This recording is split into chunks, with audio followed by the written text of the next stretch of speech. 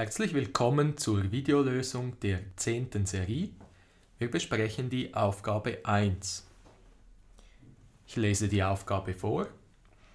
Eine Masse m hänge zwischen zwei Federn mit Federkonstanten k1 und k2. Auf der Masse m liege noch eine kleine Masse klein m. Der Haftreibungskoeffizient zwischen den zwei Massen ist μ0. Teilaufgabe A Formulieren Sie die Bewegungsgleichung, falls die obere Masse auf der unteren haftet. Teilaufgabe B. Finden Sie die Eigenfrequenz Omega des Systems. Teilaufgabe C. Das System wird nun von außen mit der Eigenfrequenz Omega aus der Ruhe angeregt. Bei welcher Amplitude a gleich x max beginnt der obere Block auf dem unteren zu rutschen.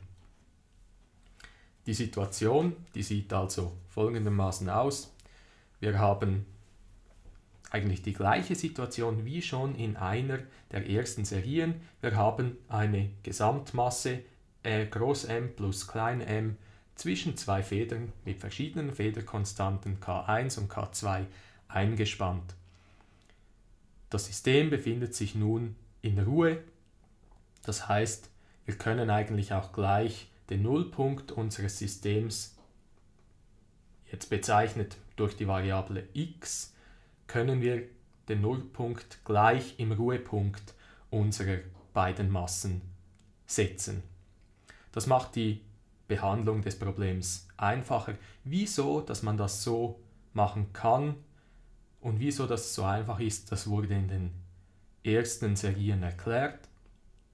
Man kann natürlich den Nullpunkt auch sonst irgendwo setzen. Das geht auch. Ja, wie geht man nun vor, wenn man so eine Aufgabe sieht? In einer der letzten Serien habe ich das kurz angesprochen. Wir schauen das nochmal schnell an. Grundsätzlich, wenn wir so eine Aufgabe haben, geht es immer darum, die Bewegungsgleichung zu finden und dann schlussendlich diese Bewegungsgleichung zu lösen. Wir wählen dann einen geschickten Ansatz, wir denken uns eigentlich damit bereits eine Lösung für das Problem aus. Dann können wir äh, den Ansatz in die Bewegungsgleichung einsetzen und mal durch Koeffizientenvergleich eventuell schon gewisse Variablen oder gewisse Koeffizienten, welche wir haben, herausfinden. Und zum Schluss sind eventuell noch Anfangsbedingungen gegeben, wie jetzt zum Beispiel im Falle einer Feder die anfängliche Auslenkung aus der Ruhelage oder vielleicht die Geschwindigkeit zum Zeitpunkt t gleich 0 oder ähnliches. Und so ist jetzt eigentlich diese Aufgabe in dieser Serie auch äh, gestellt, dass man eigentlich dieses Schema ausführt. Zu Beginn wollen wir die Bewegungsgleichung finden.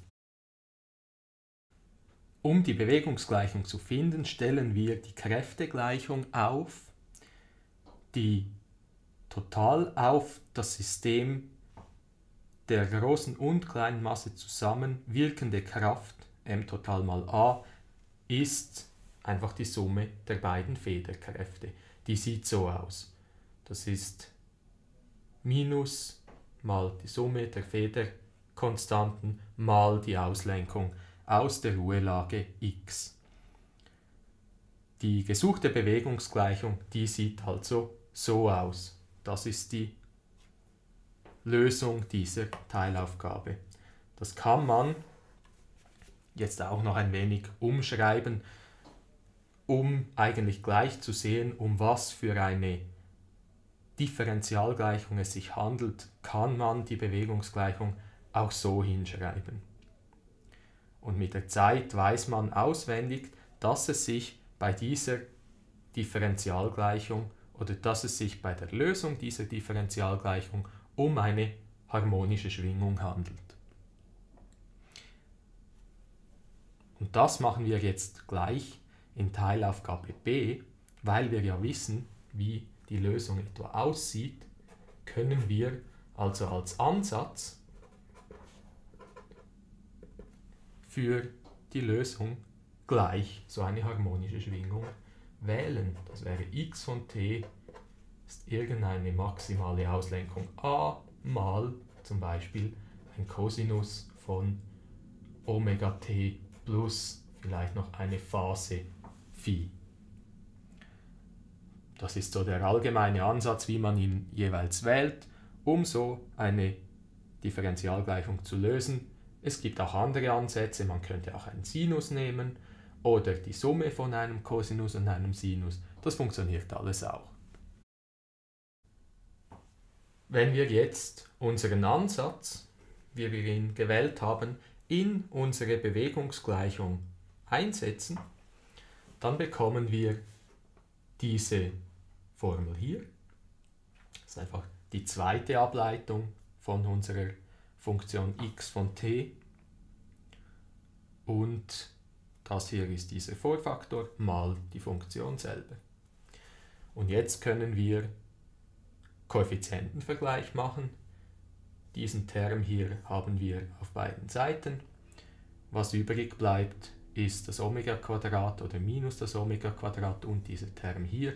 Das heißt, damit diese Gleichung zu allen Zeiten erfüllt ist, muss gelten, dass Omega gleich der Wurzel aus der Summe der Federkonstanten über der Summe der Masse ist.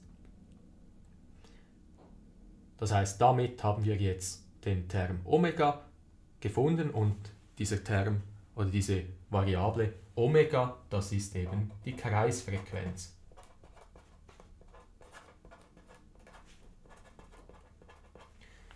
Das ist der gesuchte Wert in dieser Teilaufgabe. Jetzt in Teilaufgabe C ist gefragt, ab wann der obere Block auf dem unteren zu rutschen beginnt. Und der obere Block haftet über die Haftreibungskraft auf dem unteren Block. Also das heißt, die maximale Kraft in horizontale Richtung, welche, bei welcher die Haftreibung gerade noch wirkt, ist gegeben durch m mal g, also die Gewichtskraft auf den kleinen Block mal μ0.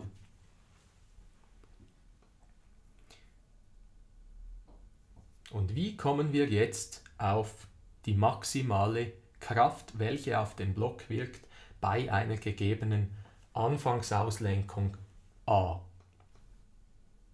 Wir haben ja die Ortsfunktion x von t, die haben wir jetzt herausgefunden.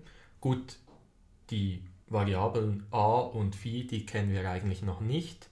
Das wäre jetzt der letzte Teil beim Lösen der Differentialgleichung.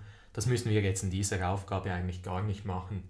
Die äh, Anfangsbedingungen sind ja keine gegeben. Wir wissen nicht, wie weit der Block zu Beginn ausgelenkt wird und in welcher Phase oder mit welcher, an welchem Ort er sich zum Zeitpunkt t gleich 0 befindet. Und darum können wir die Variablen a und phi einfach mal so stehen lassen, weil die Variable a, die maximale Auslenkung, die wollen wir ja jetzt eben genau bestimmen indem wir schauen, wie groß diese Auslenkung, diese maximale Auslenkung a sein kann, damit die Haftreibungskraft vom kleinen Klotz auf dem großen Klotz nicht mehr groß genug ist. Also so ab wann der kleine Block zu rutschen beginnt. Und jetzt, wenn wir die Ortsfunktion haben, haben wir ja sofort auch die Geschwindigkeitsfunktion von unserem Gesamtsystem, bestehend aus dem großen und dem kleinen Klotz. Das ist einfach die erste Ableitung von dieser Funktion hier. Und die Beschleunigungsfunktion ist die Ableitung der Geschwindigkeitsfunktion oder die zweifache Ableitung nach der Zeit von der Ortsfunktion. Das wäre dann diese Funktion hier. Das heißt, der maximale Wert den die Beschleunigung annimmt. Die Beschleunigung eben, wie gesagt, des Systems bestehend aus beiden Blöcken die maximale Beschleunigung ist betragsmäßig genau a mal Omega Quadrat, weil dieser Term da hinten, der ist ja immer maximal betragsmäßig 1. Das heißt, der betragsmäßig größte Wert unserer Beschleunigung ist a mal Omega Quadrat. Auf dann das Ganze in Kräften ausgedrückt ist die maximale Beschleunigung auf jetzt entweder den kleinen oder den großen Klotz, jetzt im Falle des kleinen Klotzes halt klein m mal a mal Omega Quadrat, also klein m mal a oder a max. Und sobald diese Kraft, diese Kraft in horizontale Schwingungsrichtung größer wird als die maximale Haftreibungskraft, beginnt der Block natürlich zu rutschen. Und wir kennen ja alle Werte außer der Variable a. Das heißt, offensichtlich ist diese maximale Kraft nicht nur von der Kreisfrequenz oder der Eigenfrequenz dieses Systems abhängig, sondern auch von der maximalen Auslenkung. Wir können also so eine Bedingung an a finden, sobald also a größer ist als dieser Term hier, als μ0, die Haft, der Haftreibungskoeffizient mal die Erdbeschleunigung g über der Kreisfrequenz im Quadrat, sobald diese Bedingung gilt, dann beginnt der Block zu rutschen. Und das ist auch das Endresultat für diese Aufgabe.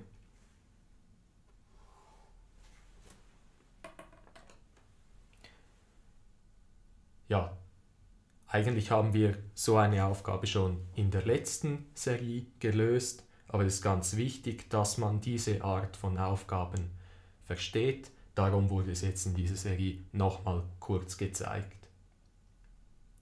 Grundsätzlich funktionieren diese Aufgaben immer gleich. Wir können eigentlich immer nach diesem Schema vorgehen und dann halt entsprechende Werte äh, rausfinden. Also die Kreisfrequenz kann man so eigentlich immer rausfinden.